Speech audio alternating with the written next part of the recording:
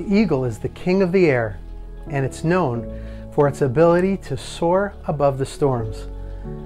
With sharp vision, it can spot its prey from miles away, and covered with majestic feathers and armed with powerful talons, they are designed to perform extraordinary feats.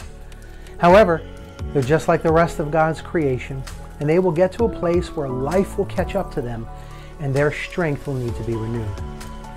Now, molting season for eagles is the time when they shed their feathers, their vision blurs, and their beaks and talons break off.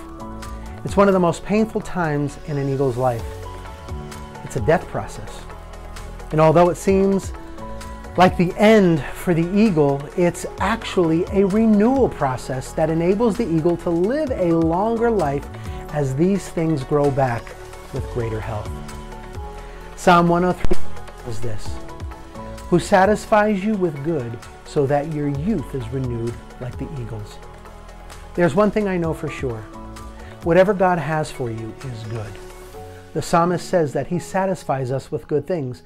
We don't have to be scared of God or his plans for us. His plans are always good.